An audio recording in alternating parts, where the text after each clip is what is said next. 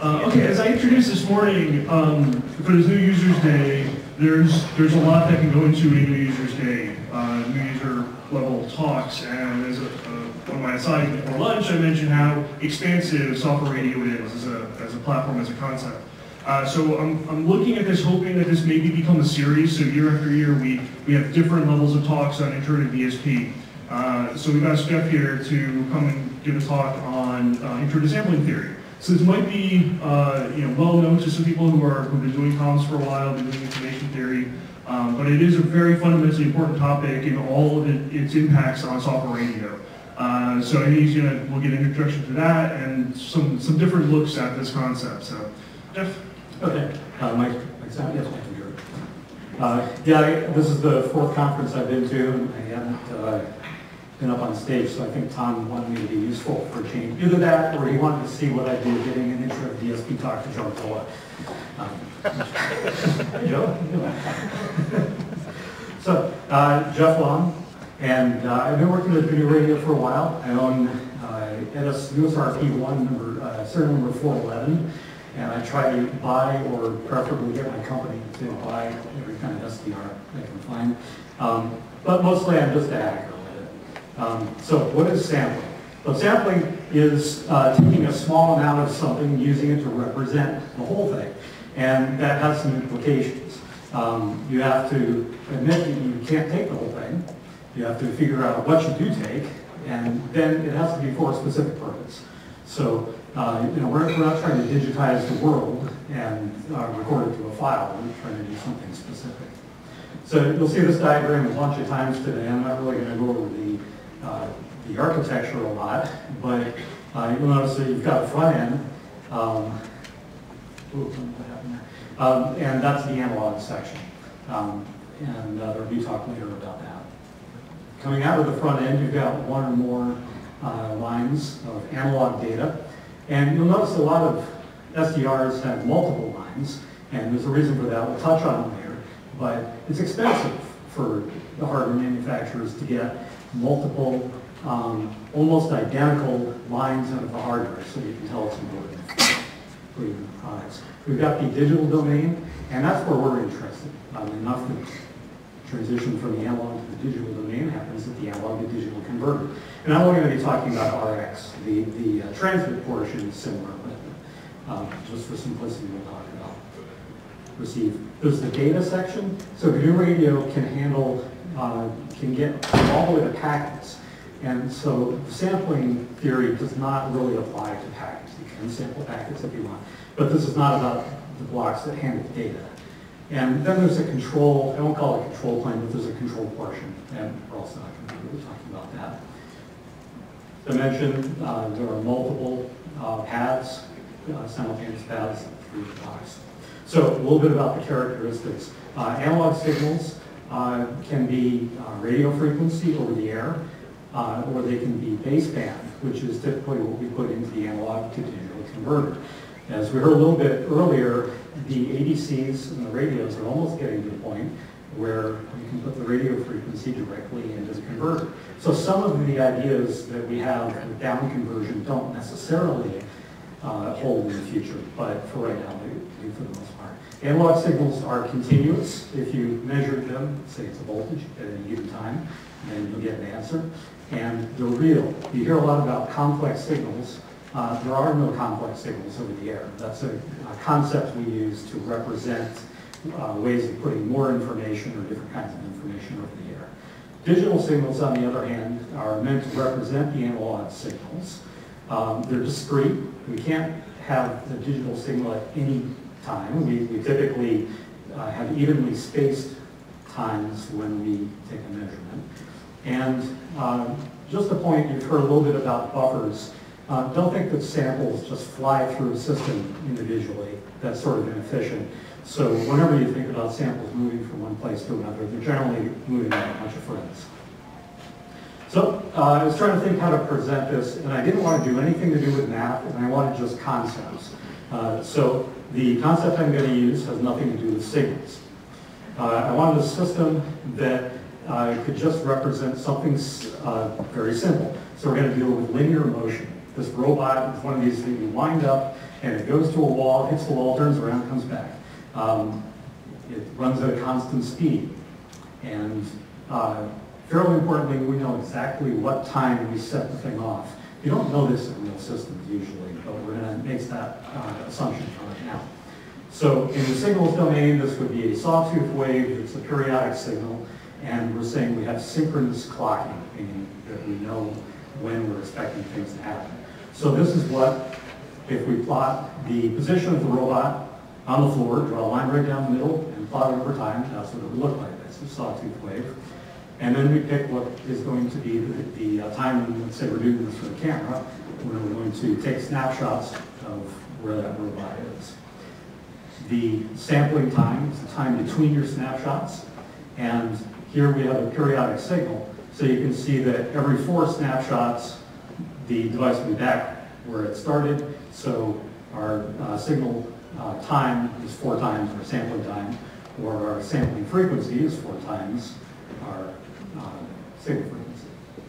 Then we digitize. We, we say, okay, we've got just individual snapshots, and we record a vector, an array of where uh, we take our observation at each one of those times, and that's what you're dealing with in sampling. So that one zero minus one, that's the data that's going to go to the rest of the program.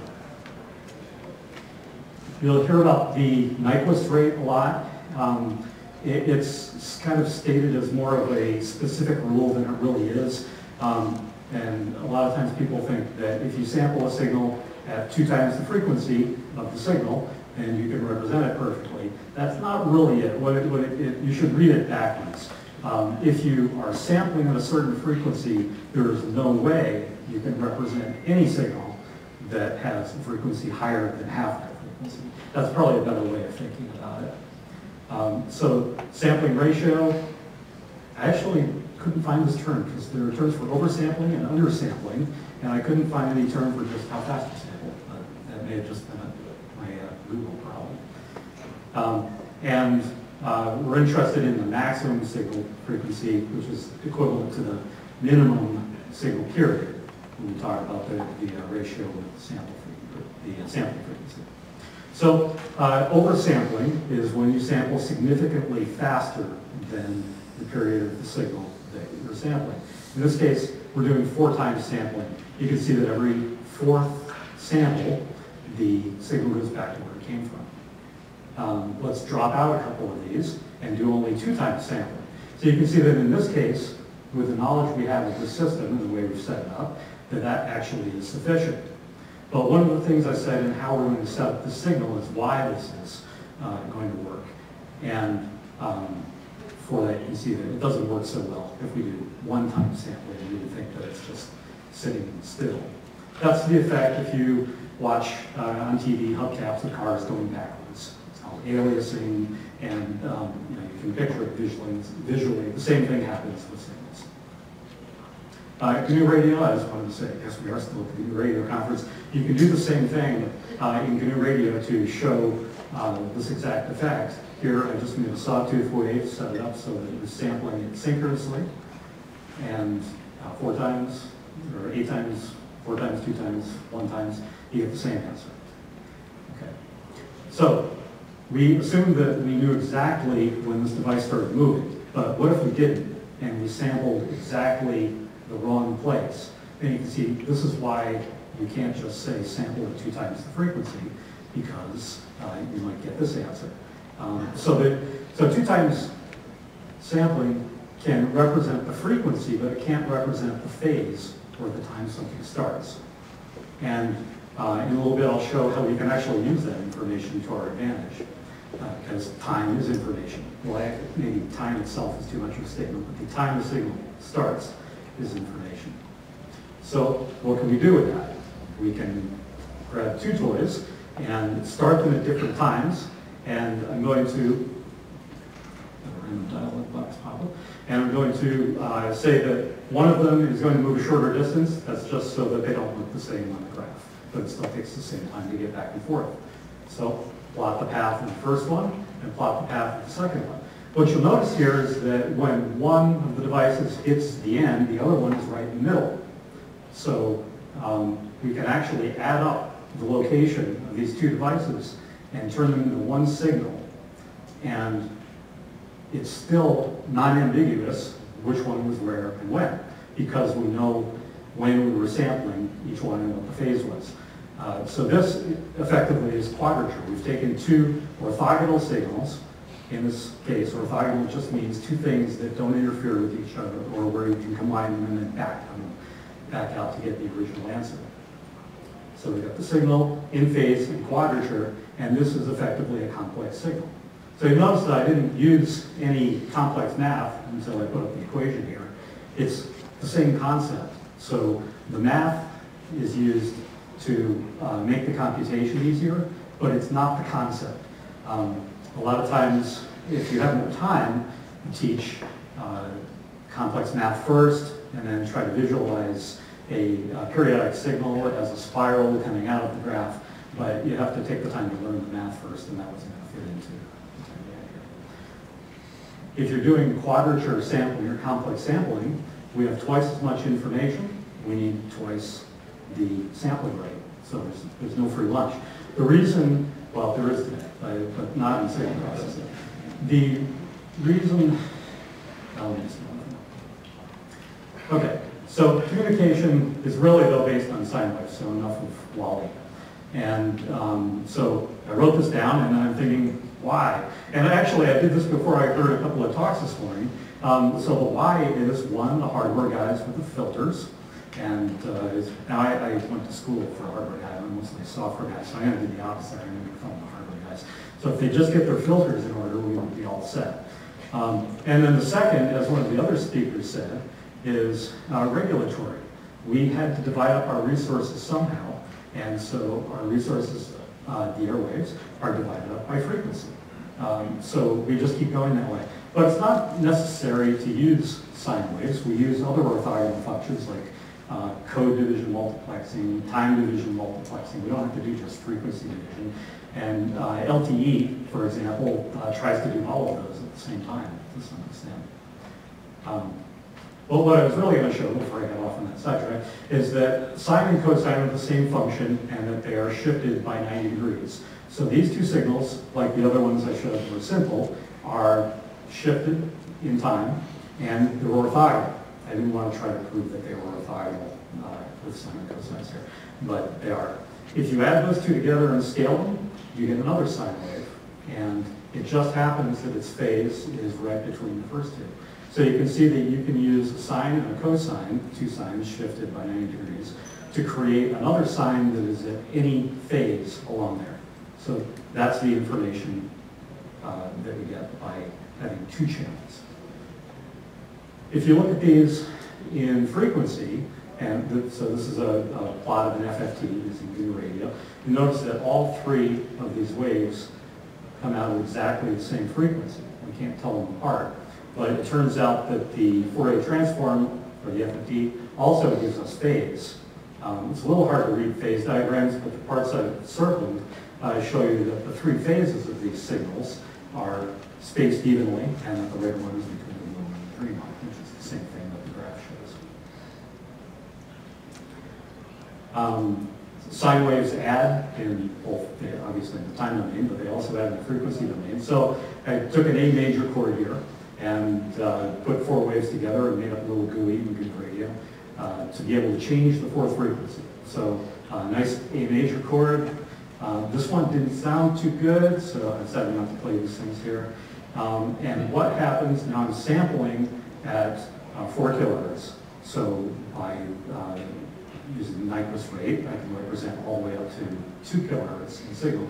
What happens if I try to play something into this that is faster than that? so 3120.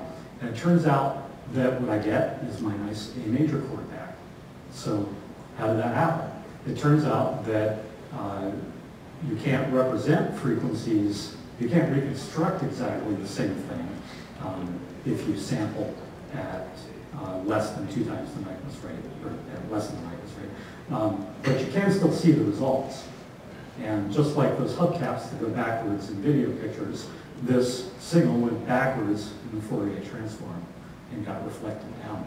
So you need to keep this in mind when you're doing uh, SDR, because it's so easy just to slap a bunch of blocks together. So, so for us, people would think software more often than hardware now. Just, you know, yeah, drag a bunch of blocks together and make a flow graph. Um, but there are some effects you have to keep in mind. This is just another demo of the same thing. Uh, you can see, uh, it's kind of interesting the way this is not looking like it's walking. The, the middle one is the frequency that's going into uh, a, um, a block that divides the sampling frequency by two, and the bottom one is what's coming out of that. And so I got an answer, but it wasn't the right answer, it was an alias answer. Uh, Another thing to think about uh, with aliasing, you're not just trying to get other unwanted signals out of the way, you're trying to get noise out of the way. Um, If you uh, accept all of the noise that's above your Nyquist rate, it gets folded right down on top of the noise uh, that you're already trying to deal with. So downsampling is uh, the same as decimation, but with filtering. And that's the important difference between decimation and downsampling. So this uh, flow graph, uh, made on a computer with way too high resolution display, see didn't lay it out too well. Um, but I, I've got a look at uh, one path going through, can I point on this thing? So I've got one, uh, the original input, I've got uh, an output that goes through just a decimator here, and then I've got another output that goes through a low-pass filter and a decimator. Now, GNU radio, typically, the decimation and filtering goes together because uh, it's more efficient. But here I did them out separately. And what you get on the input, you can see the two signal sources that I put in into the adder uh, both show up. When I decimate them, the, uh, the blue graph shows, let's see, now the, yeah, blue graph shows that both of these uh, frequencies come out. Uh, one of them correct and one of them alias down. The, uh, I should have pointed out here, the, uh, I was putting a 1.5 kilohertz wave uh, in, and we're originally at uh, 4,000 samples per second, and we're trying to read it out at 2,000 samples per second. Uh, so that gets folded back down here. The, the filtered version, the red path, uh, does not have that. So that's why you use a filter when you're downsampling.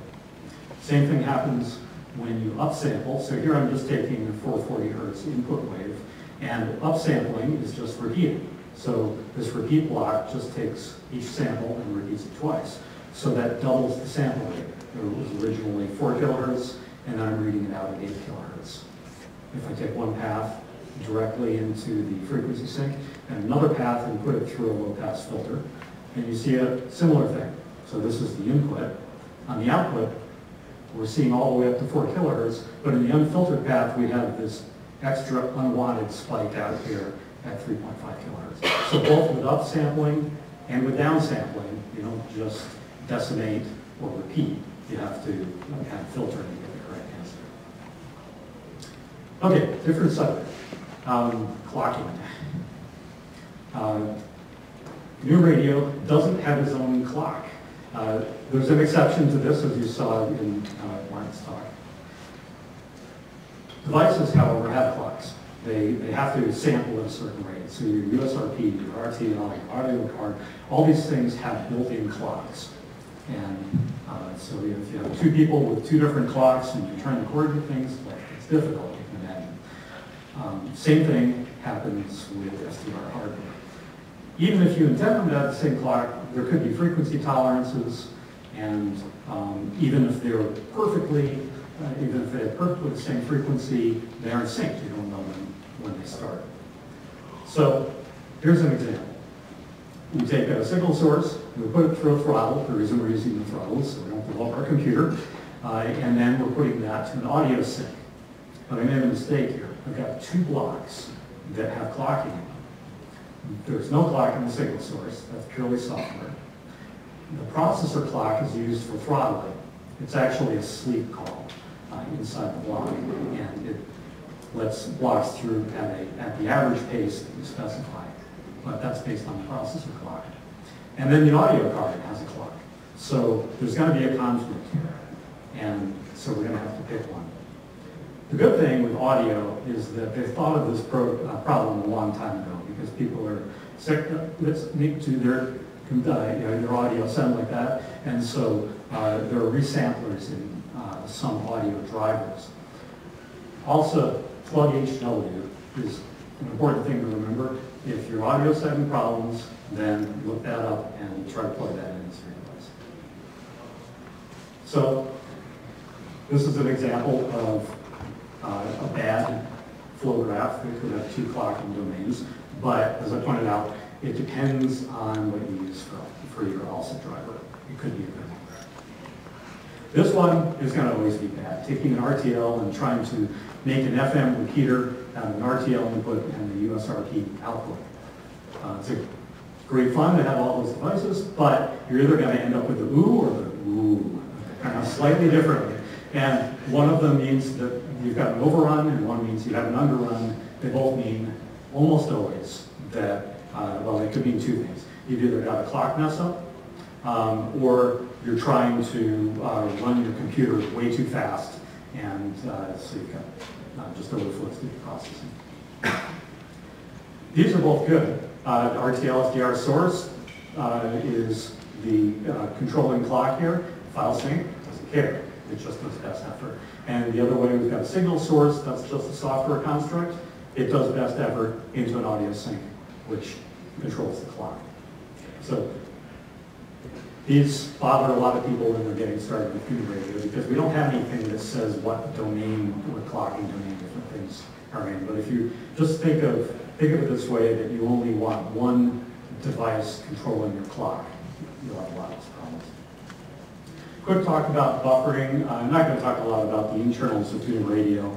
Uh, what talks about that later. Um, but just so you understand what's happening with the samples, uh, I've left out a couple of details here between the ADC and the radio block, but um, we don't have, uh, we, we don't handle just one sample at a time because it's slow. It's, it's not because we can't do it.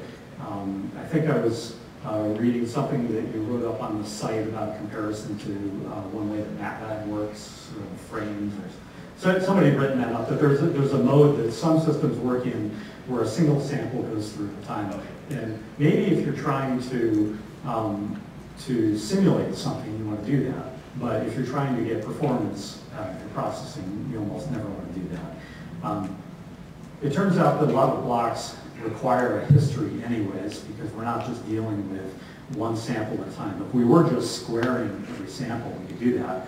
But uh, filters require a number of samples. FFTs and other operations that are used heavily um, require entire blocks. And uh, SIMD optimization, uh, if to do multiple things at the same time, it needs multiple things at the same time. So we're going to add buffers. Uh, buffer fills up. It's not quite the way it works, but we'll a talk on scheduler, right? Okay, we'll talk about that during the scheduler talk. Um, and uh, so block acts on a bunch of samples at a time, passing from one buffer to another. This increases the performance, but another important thing is that it increases the latency. You see this with audio cards all the time. Sometimes you'll see a setting for latency, how many audio samples do you want at a time, and that relates to how good the playback is, but also relates to the time from when you talk to the time from when you.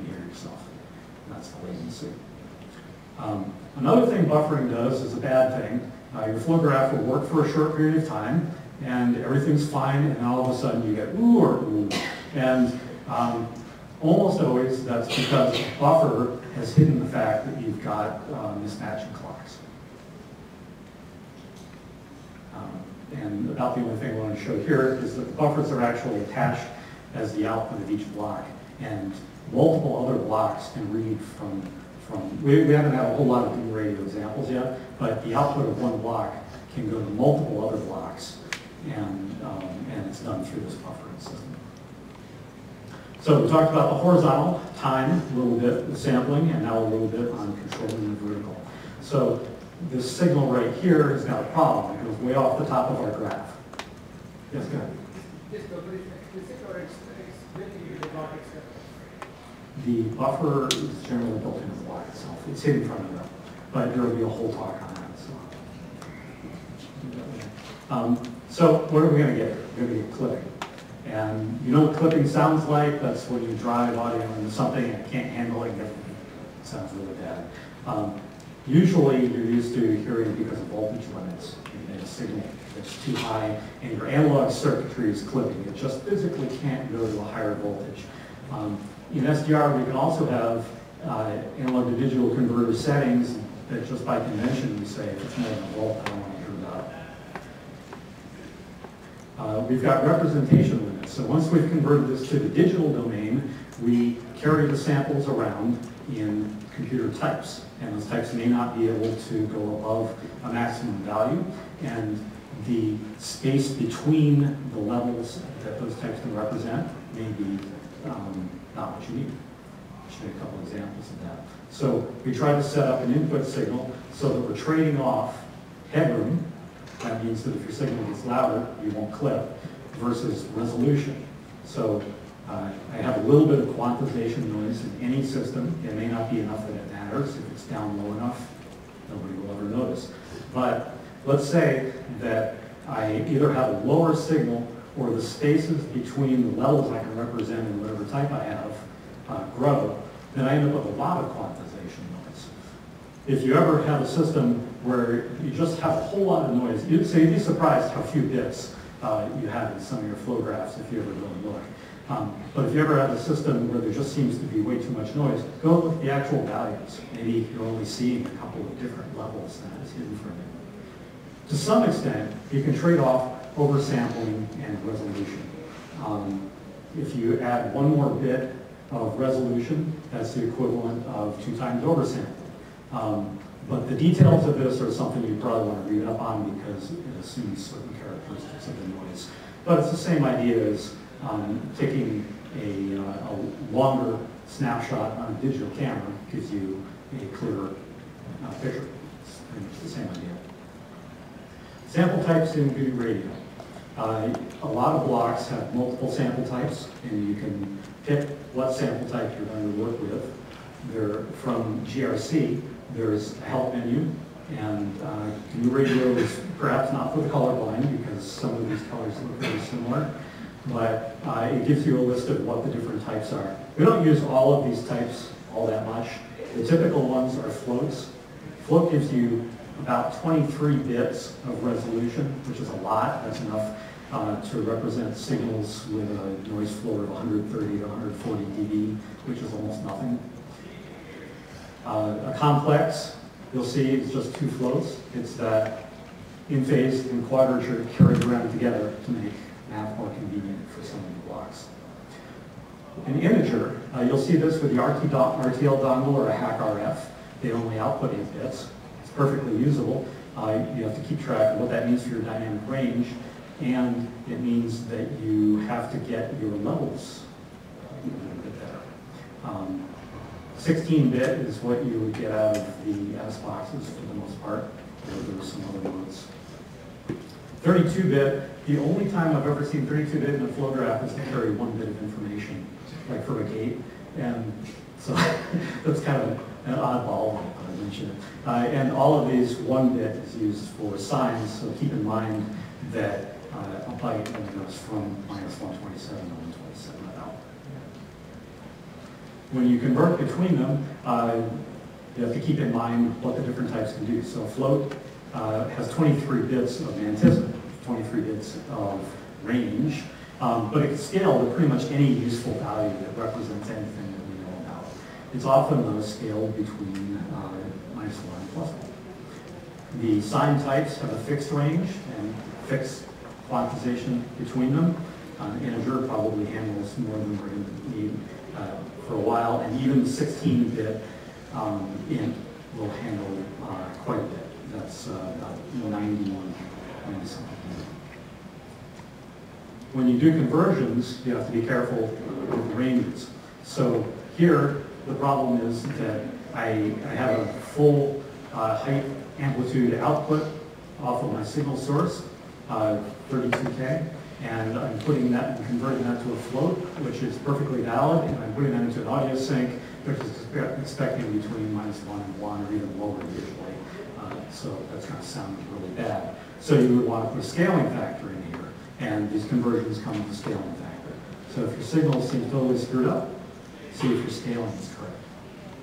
Going the other way, I've got an audio source uh, coming in with a signal that's between minus one and one. I can convert it, that's perfectly valid. And I can put that into a file that's represented by shorts. And at most, I'll get one bit of uh, transition. Sometimes not even any.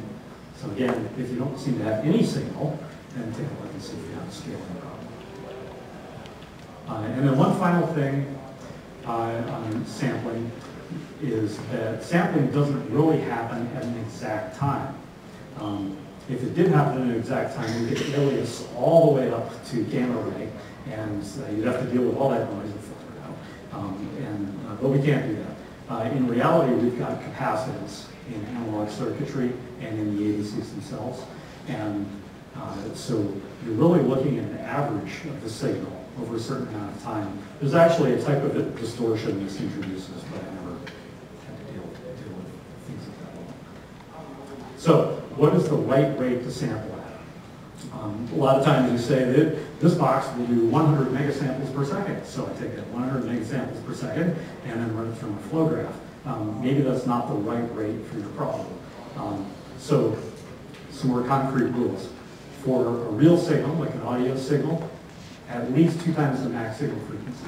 For audio, two times actually works because the filtering takes out, you're, you're not actually seeing the whole, uh, like, like for a CD, you go up to 44.1 kilohertz, but the audio signal will offer 19 or 20, so, so it's already taken care of for.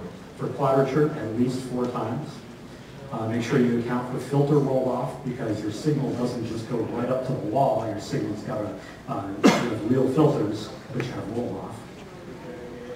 Um, you can oversample to reduce noise um, or to uh, relax the filter quality requirements. When you hear people talking about one bit sampling and advertising that, uh, for CD players, they used to advertise one bit sampling all the time. What they really meant is that we're too cheap to buy good filters. And so we're going to advertise the fact that we're using the sampling technique uh, so we can buy cheap.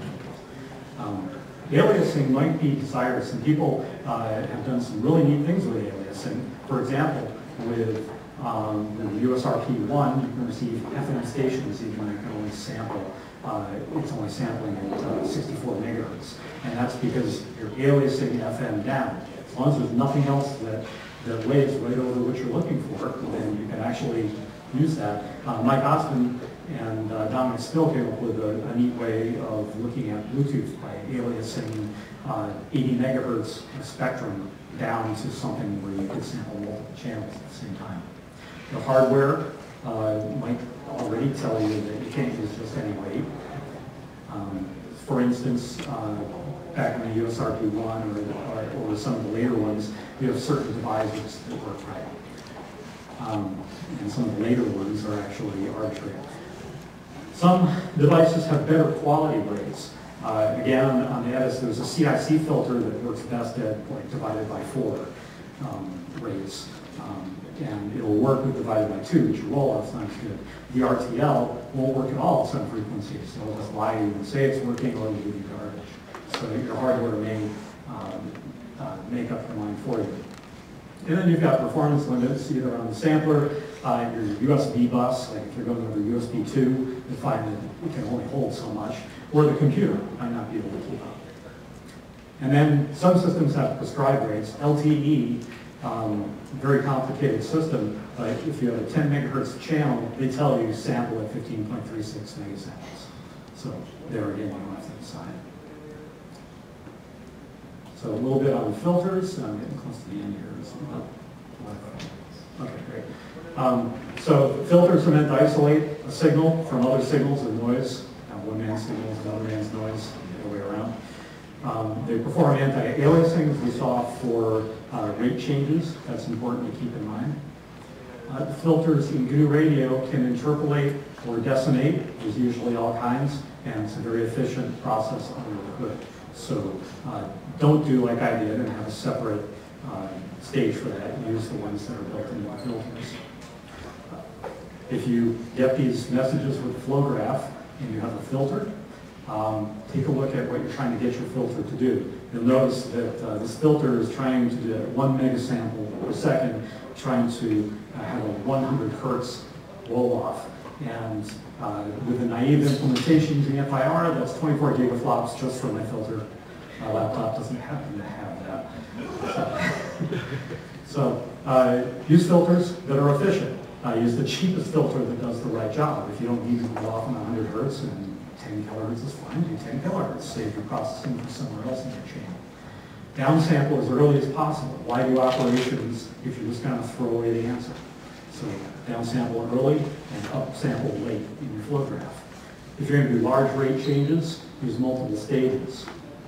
And there's a whole technique for figuring this out, I won't go into it. But just know that you don't have to cut down from 100 megasamples per second to uh, 10 kilohertz in one step. And uh, some blocks, this is one to watch for, contain filters even though they don't tell you. They don't tell you so you know what you're looking for. Uh, for example, the PSK Demod has a root raised cosine, RC filter, uh, built into it. And if you're operating at a really high sample rate, you might find that this block is taking way more time than you thought, and you might have to implement it yourself from scratch to, uh, to keep that filter from uh, logging down your sheet, at the expense of not having a filter. So, this is where we turn over to a to questions converter. Any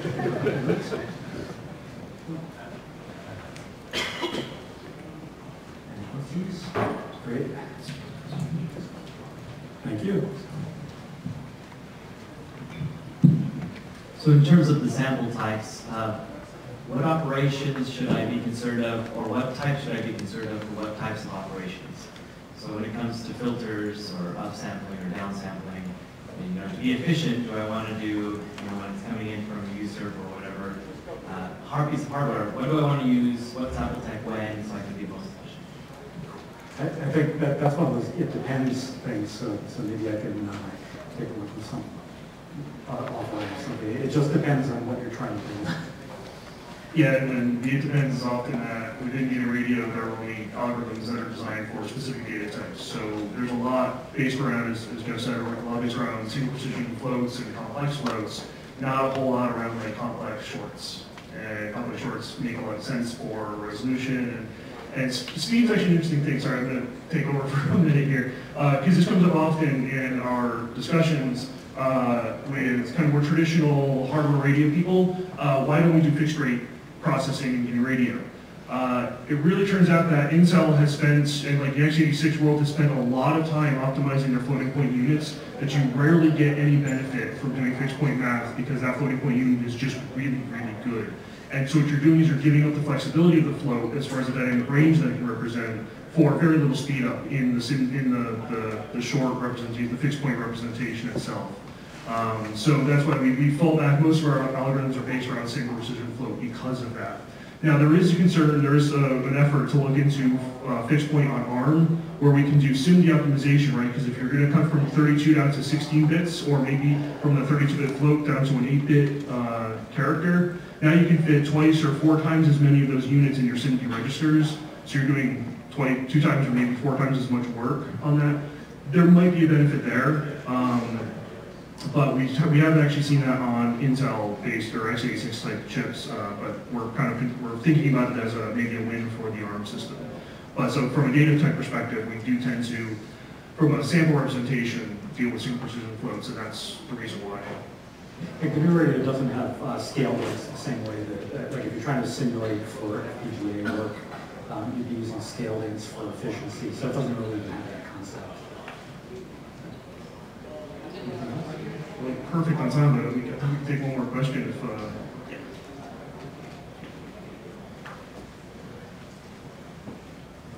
The 64-bit float, is that used in any blocks, or are there any future applications for very high dynamic range? I haven't seen it used anywhere yet. The only time, so there's 64-bit uh, floats or double precision floats, the only time we use double precision floats is in the uh, IIR filters, the infinite uh, uh, impulse response filters. Uh, For that value, the, the TAPS value can become, become unstable if you don't have a really high precision uh, um, representation of those taps. So we do use doubles there. There is a float version, but you have to be careful because you can run that filter unstable. Uh, but the double precision, as much as Intel has done good work on making floating point units really fast, double precision, not really. Double precision will slow you down dramatically, both from a memory bandwidth perspective and just the uh, processing unit. Or if you think about it, if, if you follow the GPU trend, GPUs are really good and they have a lot of hardware dedicated to floating point space. Every generation of like NVIDIA um, chipsets, GPUs coming out, have more and more double precision, but it's still like a tenth of what resources they dedicate to single precision. Uh, and as Jeff mentioned, the noise floor, the dynamic range of a uh, single precision flow is roughly like 140 dB. Like you can see that if you actually just, if you just uh, on your radio generate a sine wave and look at it in the, the uh, frequency domain scope and increase the, the resolution of that, you'll actually see a noise signal on the bottom. That's actually the noise of the floating precision number, the, quantization noise of the floating uh, point number. So it's kind of cool to see that. Um, that is so much lower than almost any hardware radio we get our hands on. Like that's that's you know we're we're actually you're approaching thermal limits there as far as what a radio is going to be able to ship you. Um, I mean you can do better, but not much. Uh, so you're so that's like really usually good enough from a to using precision to get the noise the quantization. The quantization of the floating point number will be less than the quantization noise of your radio. So that's what I mean. So all those things come into play and why we, we said the single precision mostly. That's good. Okay, well, we should move on to the uh, next presentation. Jeff, thanks a lot.